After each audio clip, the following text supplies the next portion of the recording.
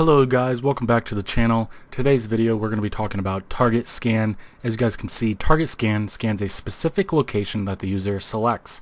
So basically just click target scan and then you can select any folder on your computer.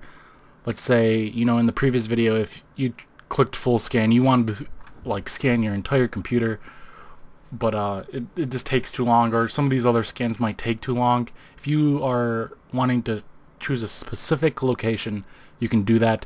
So right now I'm selected my desktop and I'll just select you know let's see. Uh,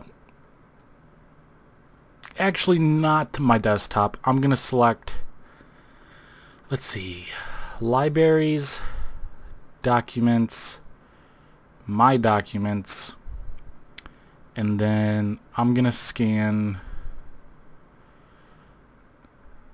let's see Rainmeter Rainmeter is a cool desktop app that you can put other stuff on there and stuff but uh, anyways I'll scan that and it should only take a few minutes maybe even less. Wow never mind. It has 12,811 so I'm gonna show you guys this cool feature as like in any scan. You can stop the um, scan immediately. Um, let's try a different target area. I will choose this time I will choose something on my desktop and I'll just choose game shortcuts. Actually freedom stuff. This is all my um, partner stuff so I'll click that and scan that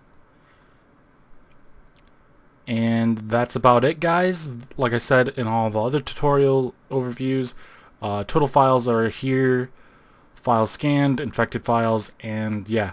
There you guys go. You can see the screen on how it would show if it successfully scanned your computer and nothing was found. I hope you guys enjoyed this quick video of the target scan and I'll see you guys later in the next scan video